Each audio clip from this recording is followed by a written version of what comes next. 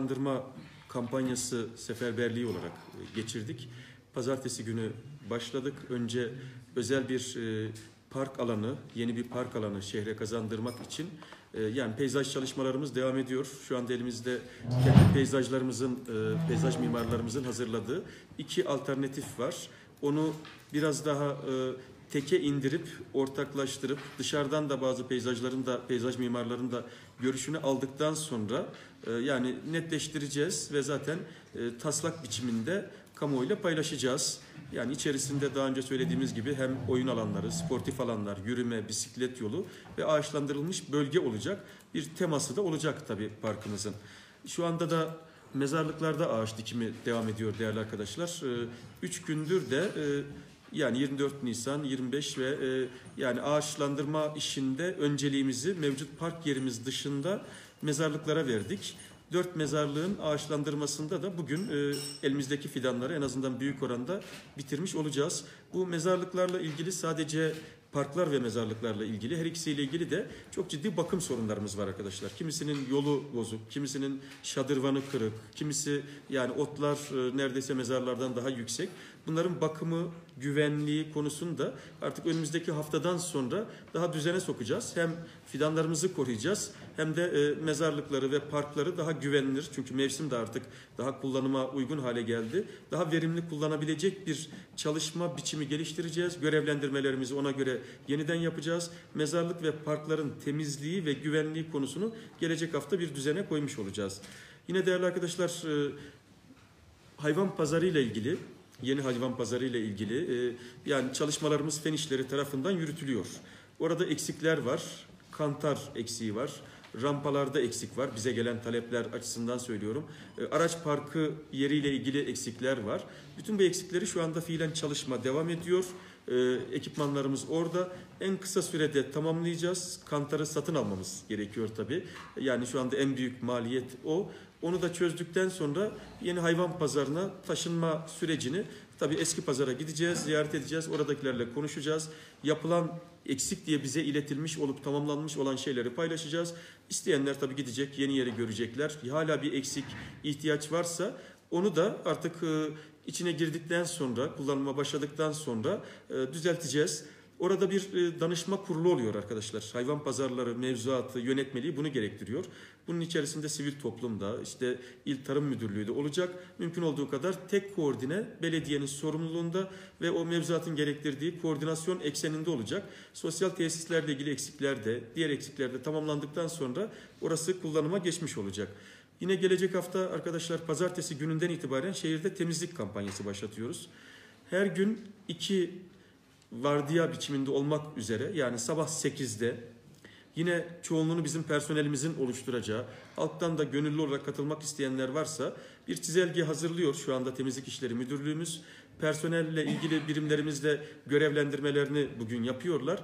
Yani pazartesi sabah 8'de 12'ye kadar bir mahallede Öğleden sonra bir buçuktan e, mesai bitimine kadar beşe kadar başka bir mahallede olmak üzere caddeleri, sokakları belirliyoruz hep birlikte. Biz de katılacağız. Meclis üyelerimizi de davet edeceğiz. Birim müdürlerimiz de, çalışanlarımız da, halktan da gönüllü katılmak isteyenlerle yani araçlarımız ancak yeterli olduğu için e, ne yazık ki ekip sayısını artıramıyoruz. Tek ekip gibi yapacağız. Hepimiz aynı yerde aynı anda çalışacağız. Belki sokakları paylaşacağız sadece. Yani elle temizlik gereken şeyler var biliyorsunuz e, yani park alanların içerisi işte kenarları yolların elle temizlik yapılması gerekiyor. Elle yapacağız. Süpürgeyle yapılması gerekenler var. Süpürgeyle yapacağız. Yani toplanıp bir biçimde araçlara alınması gerekenler var. Yani zaten temizlik işleri müdürlüğümüz ve orada çalışan arkadaşlarımız bize yol gösterecekler, öncülük edecekler. Bütün şehri bir hafta içerisinde temize çıkaracağız. Ondan sonra artık e, bu arada Iğdır Belediyesi de bize e, iki araç SUZ'dan sonra e, iki temizlik aracı tahsis edecek. Onlar da gelmiş olursa bizim de şu anda tamirdeki araçlarımızdan iki tanesi büyük ihtimalle gelecek haftaya yetişecek. Yani artık kendi araçlarımızla günlük, rutin ve saatleri belli temizlik e, işine yani belki bir hafta sonra Mayıs ayı itibariyle başlamış olacağız. Önümüzdeki haftayı da biz e, yani bir birikmiş olanın temizliği olarak görüyoruz. Ama daha sonraki hafta artık biz de esnaflarımızdan rica edeceğiz, duyuru yapacağız evlerimize çöplerin artık nereye atılacağını, saat kaçta atılacağını, ne, e, yani nasıl atılacağını, nasıl istif edileceğini onlar da bize yardımcı olacaklar. Biz bu arada değerli arkadaşlar şehir içerisindeki konteynerlarını, çöp konteynerlarının sayısını artıracağız, çöp kutularının sayısını artıracağız atık ayrıştırma e, mekanizmaları var. E, bununla ilgili bir protokol var. E, yani bu e, çevre müdürlüğü ile yapılmış bir protokol. O da hizmete girmiş olacak. Dolayısıyla öyle inanıyoruz ki Mayıs ayında hep birlikte daha temiz bir Kars'ta yaşamanın imkanını yolunu oluşturacağız. Değerli arkadaşlar son iki konumuz birisi maaşlarla ilgili. Yani ne yazık ki biz yasal e, olarak şimdiye kadar ki özellikle karbiyotek ve Beltaş personelinin maaş ödeme sisteminin hukuki olarak sıkıntılı olduğuna dair uyarıları okuduk. Yani müfettişlerin raporlarını okuduk, Sayıştay raporlarına yansıyan bilgileri okuduk. Bizim de mütalamız, görüş aldığımız yerler aynı şeyi söylediler. Şimdiye kadar maaşlar sermaye artırımı biçiminde ödenmiş. Bu da tabii ki muhasebe sistemine uygun bir yöntem değil sermaye artırımı yaptığınızda belediye şirketinde onun ya amortismana harcanması ya bir somut yatırıma harcanması ya teknolojiye yani bir biçimde sermaye artırımı kalemine uygun yerlere harcanması gerekiyor. Ama pratikte bu sadece maaşa harcanmış. Yani sermaye artırımı gösterip buradan belediye bütçesinden, İller Bankası'ndan gelen paradan ya da diğer gelirlerden şirketlere sermaye artırımı diye para gönderip oradan maaş ödemek sıkıntılı ve zaten inceleme konusu olacak. Dolayısıyla biz arkadaşlar onun için zaten 15 gündür bekliyoruz. Ödemeleri yapamadık. İşçilerimizden özür diliyoruz bu konuda. Ama Nisan ayını bitirmeden yani 1 Mayıs'tan önce, işçi bayramından önce en geç 30 Nisan'da en azından bu ayın maaşlarını ödemenin e, yani ödemenin bir yolunu bulacağız. Yaptığımız e, yani mütalaa şunu gösteriyor. Şirketimiz şirketlerimiz gerçekten eğer bir yatırıma eğer bu kaynağı harcarsa ona tahsis edecek bir ödeme planı çıkartırsa biz bu aylık bu maaşları ödeme sistemini bulacağız. Zaten gelecek haftadan itibaren müfettişler çalışmalarını yaptıktan sonra son 3 yıla dair değerlendirme ortaya çıktığında bundan sonrasında şirketlerimiz ne tür yatırımlar yapacak, nelere kaynak ayıracak bunun zaten stratejik planlamasını yapacağız. Onu zaten sizlerle paylaşacağız. Yani bunu bir e, müjde değil zaten haklarıdır. Alın terileri, emekleri, çok fedakarca çalışan personellerimiz var. Bu personelimiz bizi sıkıştırmıyor da anlayış gösteriyorlar. Belediyenin içinde bulunduğu hem hukuki durumu hem ekonomik durumu biliyorlar. Ee, biz teşekkür ediyoruz ve biz de 30 Nisan'a kadar ay bitmeden en azından maaşlarının ödenmesini taşeron firmadaki iki şirketteki e, personeller için söylüyorum. Bunun yolunu zorlayacağız. Ama bir taraftan arkadaşlar hala ne yazık ki istediğimiz iç disiplini sağlayamadık ne ana binamızda ne tesislerimizde, birimlerimizde mesai saatlerine uymak konusu, işe gelme konusu ve verimli çalışma konusunu henüz sağlayamadık. Bu da bizim eksiğimiz. Birim müdürlerimizle bunu tartışıyoruz. Önümüzdeki haftalarda eğer bunu sağlayamazsak birim müdürlerimizle değişikliklere gideceğiz. Biz bunu her halükarda sağlamak zorundayız. Bu bizim sorumluluğumuz, halka karşı sorumluluğumuz. Dolayısıyla da çalışanla çalışmayan arasındaki farkı mutlaka gözetecek, koruyacak bir çalışma mekanizmasını, hukukunu burada belirleyeceğiz arkadaşlar. Son olarak da e, yani Mayıs ayı tabii ki farklı etkinlikler e, olacak. Biz hazırlıklar yapıyoruz. Bir uçurtma şenliği çocuklar için hazırlığını yapıyoruz. Gençlere dönük bir hazırlık yapıyoruz. Gençlik bayramı var Ramazan ayı içerisinde. E, ama en başında 1 Mayıs bahar ve e, işçi bayramı resmi tatil biliyorsunuz. Sendikalar burada bir etkinlik düzenliyorlar. Cumhuriyet Meydanı'nda e, 1 Mayıs'la ilgili etkinlik düzenliyorlar. Bir konser düzenliyorlar. Yani bu konsere, bu etkinliğe biz de davet edildik. Katılacağız ve tabii çalışanlarımızın da gönüllü olarak katılmak isteyenlere bu duyuruyu, bu daveti yapacağız. Sonuçta onların bayramı biz mahcup olarak katılacağız. Şimdiye kadar ikramiyesini ödeyemediğimiz neredeyse içeride 40-50 bin liralık ikramiyesi olan işçilerimiz var. Tazminatlar var. Kazanılmış mahkeme kararları var ama ne yazık ki bunlar birikmiş ve şimdiye kadar ödenmemiş. Biz bundan sonrasında yani elimizden geldiğince işçi haklarını, alın terini, emeğini öne koyarak bu ödemeleri eritmeye, e, çözmeye çalışacağız. Diğer alacaklarla ilgili arkadaşlar e, tabii ki aynı tabloyu söyleyemiyoruz.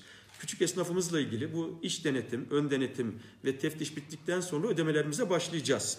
Yani şu anda bizim e, komisyonumuz çalışmaya başladı. Büyük ihalelerle ilgili incelemeler başladık. Bu ihalelerin sonucunda hukuka aykırı olduğunu gördüğümüz, e, ihale kanununa aykırı biçimde yapıldığını düşündüğümüz işlemlerle ilgili daha önce de duyurduk konuyu maliyeye, yani eğer hesap kitapla ilgili bir eksiklik görüyorsak fatura denetimi ve diğer denetimler için maliyeye, yargıya eğer başka bir usulsüzlük görüyorsak tarafı ister bizim personelimiz olsun, müdürlerimiz olsun, ister e, karşı e, yani firmalar olsun her halükarda başka bir yargısal ve idari denetime taşıyacağız. Bunlar çünkü iş denetimdir bizim açımızdan. Müfettişlerin de e, yani raporlarından sonra muhtemelen artık Mayıs ayından itibaren o süreç başlayacak. Yani burada şehirde konuşulan, spekülasyon yapılan, tartışılan, haksız kazanç elde edildiği düşünülen, usulsüz olduğu düşünülen ihalelerle ilgili yargı ve diğer süreçler başlayacak. Dolayısıyla bu haciz koyan firmalara bir kez daha sizin aracınızda çağrıda bulunuyoruz. Hacizlerinizi kaldırın ve uzlaşma yoluyla bu belediye çalışmaya başlasın iş yapsın. Yok eğer hacizde ısrar ederler, kilitlerlerse bizim zaten yargıya intikal dışında yapabileceğimiz hiçbir şey yok. Herhangi bir ödeme yapmamız söz konusu değil. Haz edebilecekleri kaynaklar zaten sınırlı. Tamamına haciz zaten neredeyse konulmuş. Dolayısıyla yani kendilerinin de zararına olacak, belediye de zarar görecek. Biz herhangi bir hukuksuzluğun altına asla imza atmayacağız. Bu anlamda hiçbir ödemeyi hangi partiliymiş, yani hangi etnik kökendenmiş, kime oy vermiş, seçimde kiminle çalışmış, nasıl personel konusunda bu konuda bir tek ayrım yapmıyorsak, burada bu konuda hiç kimse şimdiye kadar bir tek itiraz yapamazsa, böyle bir şey şimdiye kadar da bize gelmediyse, firmalarla ilgili de yani yolsuzluk, suistimal iddiası hangi firmayla ilgili varsa biz onu yargıya taşıyacağız. Onlar eğer erken uzlaşmaya gelir ve alacaklarından vazgeçer, feragat eder ve dosyayı kapatmak yolunda bir tercih yaparlarsa biz de gayet tabii çalışmalarımıza devam ederiz. Biz de onlarla ilgili elimizden gelen anlayışı gösteririz. Bunun dışındaki değerli arkadaşlar küçük esnaf alacaklarını önümüzdeki aydan itibaren yani bu ilk incelemeler, ön inceleme bitip e, müfettişler e, denetimini yaptıktan sonra küçük esnafla ilgili ödemeleri başlatacağız. Yani Mayıs ayının artık ortasında biterse ortasında, sonunda biterse sonunda küçük esnaf borçlarımızı yani bunlar milyonlu rakamlar değil zaten binli, on binli e, rakamlar büyük kısmı yani yüz bin liranın da altında olan rakamlar onları ödemeye başlayacağız. Arkadaşlar bir de tabii Ramazan ayına giriyoruz. Ee, yani 5'inden itibaren biz Ramazan ayında özellikle gençleri e, yani gençlerin sıcak bir yemek yiyebilmelerini, iftar açmalarını sağlamak tabii ki şehirde başka da ihtiyacı olanların e, faydalanabileceği bir e, çadırı Masal Parkı içerisinde kuracağız. Yani orada iftar çadırımız olacak. Sadece iftar çadırı değil, günlük 500 kişiyi hedefliyoruz. Yani 500 kişiye iftar çadırı, ayrıca yardım kumpanyaları da şu anda organize etmeye çalışıyoruz. Bunları belediye kaynaklarıyla yapma imkanımız yok esnafımızdan, e, meclis üyelerimizin de desteğiyle, katkısıyla sıraya koyacağız. İsteyen esnaflarımız paket yapacaklar, evlere kuru gıda dağıtacağız. Daha çok ailelerin biz çadıra değil, evlerde kendilerinin yani kapısına gitmesini tercih ediyoruz.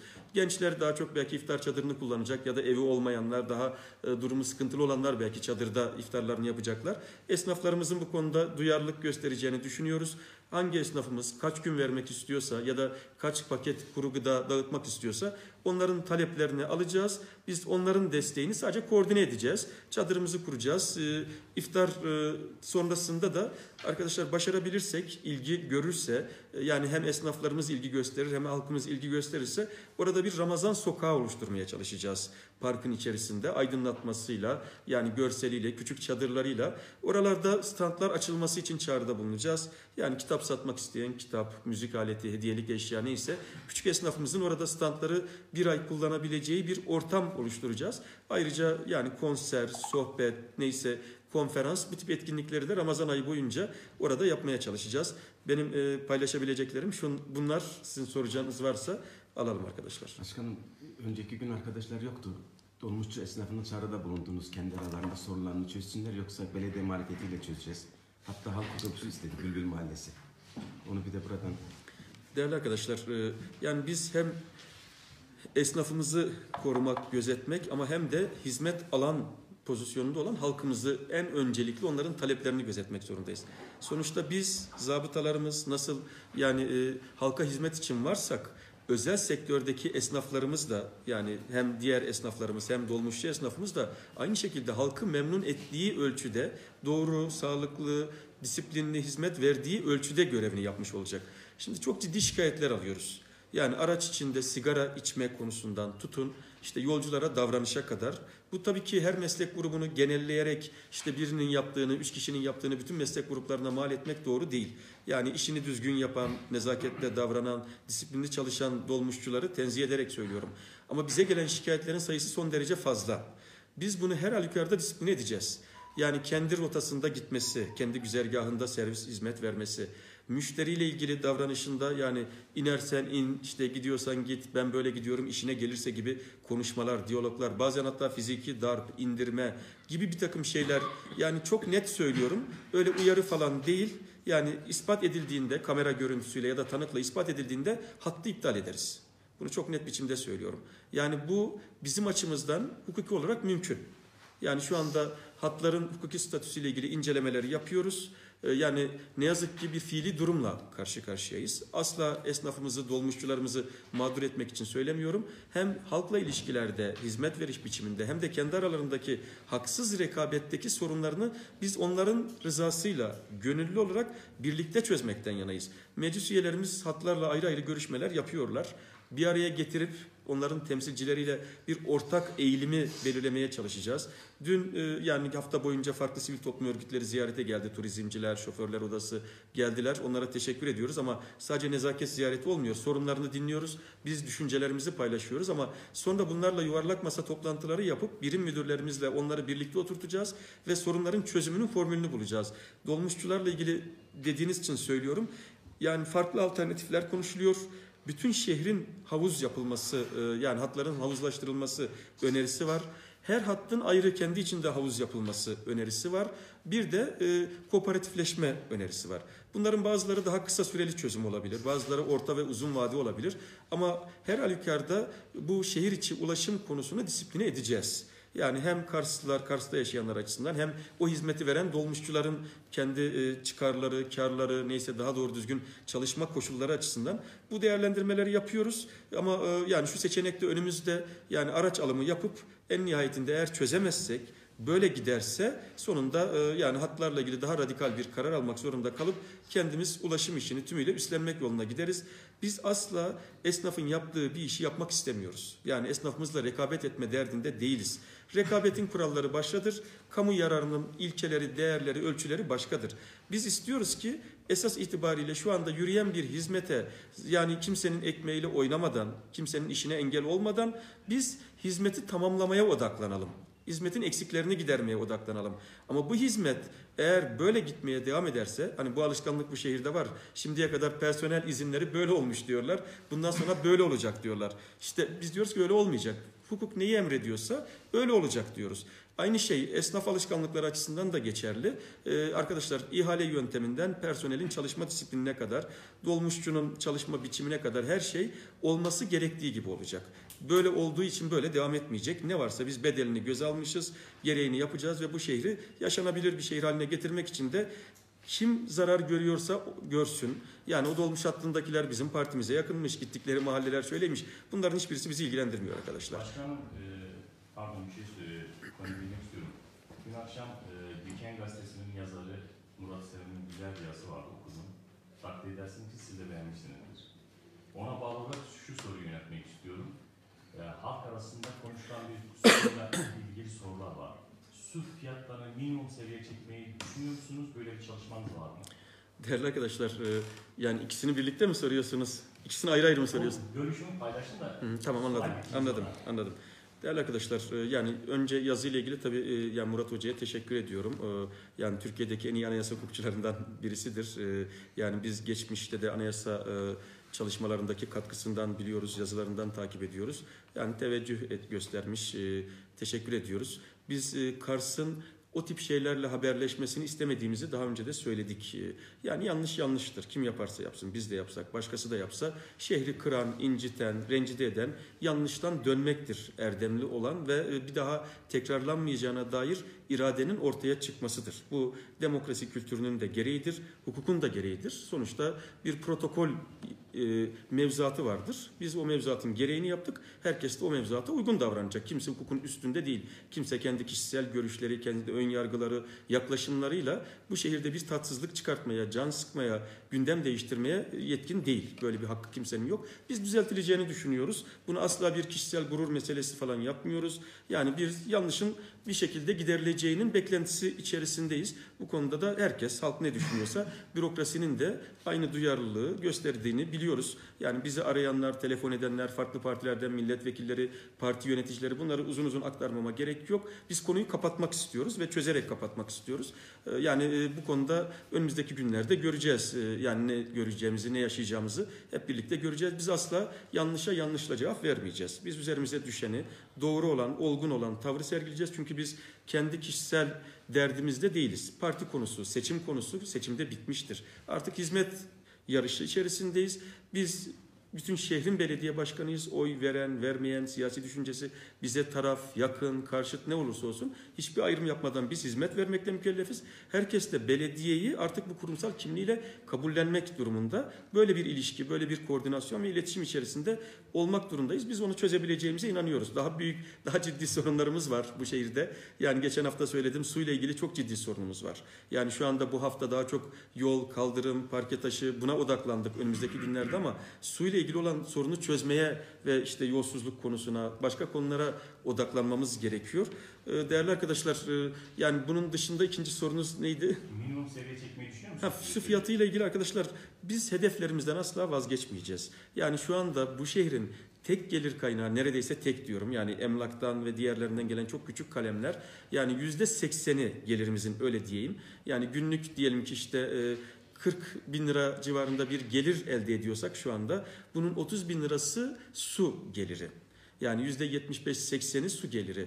Yani su gelirinde şu anda bizim başta taahhüt ettiğimiz gibi bir şeye geçsek şu anda e, çöp arabalarımıza mazot alamayız. Ya da işte araçlarımızın tamirini bakımını yapamayız. Ama yani bu bir e, şeydir, duyarlılıktır, anlayıştır. Şehrimiz şu anda çok ciddi biçimde 5-6 kat ödeme arttı. Su faturalarının ödeme miktarı arttı. Çünkü hizmet geldiğini görüyor insanlar. Paranın nereye harcandığını şeffaf olarak görüyorlar, biliyorlar. Yani ay bittikten sonra biz hesaplarımızı zaten ilan edeceğiz. Yani aylık olarak şu kadar gelirimiz oldu, bu kadar giderimiz oldu diye ilan edeceğiz. Yani su fiyatlarının en alt rakama inmesini en kısa sürede sağlayacağız. Ama bunu sağlamamızın bir şartı var. O da hesaplardaki hacizlerin kalkması. Yani biz hesaplarımızdaki hacizler kalkarsa şu andaki yapılan kimi ödemeler direkt o hesaplara yatıyor. Yasal olarak öyle oluyor. Onlar da hacizli olduğu için icra dairelerine gidiyor direkt. Ve bu icra dairelerinden tahsil edilen paraların bir kısmı ile ilgili muhtemelen önümüzdeki hafta bizim ön denetimimizden ya da müfettişlerden soruşturma başlayacak zaten. Dolayısıyla hani o paraları biz kullanamadığımız için şu anda tek gelir kaynağımıza dokunamıyoruz. Ama en kısa sürede yani bu süreci atlattıktan sonra suyu değerli arkadaşlar çok net bir kez daha söylüyorum ben. Yani e, arıtma tesisimizin sorunu yani siz açtığınız için söylüyorum ciddi bir sorun. Şu anda şehirdeki en güzel tesisimiz, en temiz, en steril, personelimizin en disiplinli çalıştığı tesisimiz su arıtma tesisimiz değerli arkadaşlar. Yani son derece modern ama ne yazık ki kimyasallarıyla ilgili, kullanılan kimyasallarla ilgili borç 500 bin lira civarında. Ve artık hiçbir firma bize e, kimyasal vermiyor bu borçlar eritilmeden. Ki bu ürünler böyle hani çarşıda, pazarda alacağınız ürünler değil. Türkiye'de zaten çok az sayıda firmanın e, satışını yaptığı ürünler. Dolayısıyla da yani biz bu borçları eritmenin şu anda e, çabası içerisindeyiz. Tahsilatlardan önceliği oralara aktarıyoruz. Ama ayrıca su kaçağı yüzde 35 civarında şehirde arkadaşlar. Yani kayıp kaçak oranı çok yüksek bir şehiriz. Yani bu şebekeyle ilgili kısmını biz teknik olarak çözeceğiz. Ama tüketiciyle ilgili olan yani doğru bilinçli kullanım olmayan miktara dair disiplin sağlamamız gerekiyor. Bir kısım inşaatlar aboneliklerini yapmamış. Bunlara şu anda zabıta görevlendiriyoruz, denetimi yapıyoruz ve aboneliklerin hızlıca artmasını sağlayacağız. Bir kısmı yani su israfı diye tarif edebileceğimiz kullanım biçiminde.